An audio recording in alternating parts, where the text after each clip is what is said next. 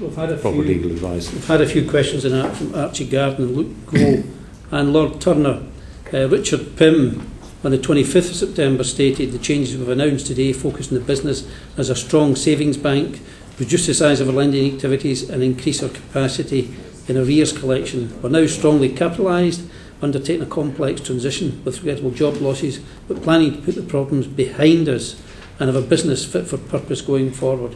Was that misleading?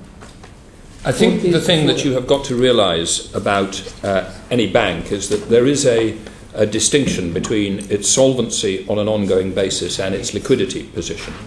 And you get a situation where a bank, where if there is a loss of confidence in it, that in itself becomes a self fulfilling process by which people are then rational to have loss of confidence in the bank. And that, bluntly, is, is just one of the central points to realise about a bank that because it does maturity transformation, because its liabilities are shorter than its asset.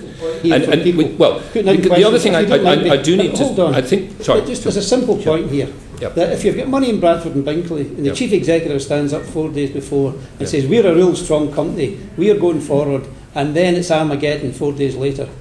I think the pace. misleading? At, I, well, I think the pace at which things were moving in those two weeks Hmm? after the Lehman's bankruptcy is almost impossible to exaggerate. I think all of us realised that things did literally move day by day Hmm. uh, in terms of the way that the money markets were, were operating, and I think that is a context that you need for those sort of uh, those sort of statements. And it wasn't bad supervision, no.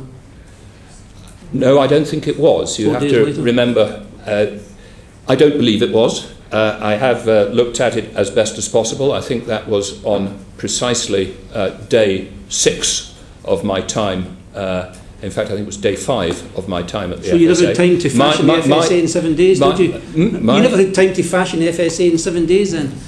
I don't think so. No. But I don't. My uh, overall impression, I have to say, is that whereas there were errors which the FSA has owned up to in relation to Northern Rock, I think since then, in relation to its management of what are incredibly difficult crisis situations to deal with, uh, it has worked very effectively, both in itself and with the other tripartite. We'll, we'll maybe come back to that if you Okay, can keep fine. us informed in that one. Colin?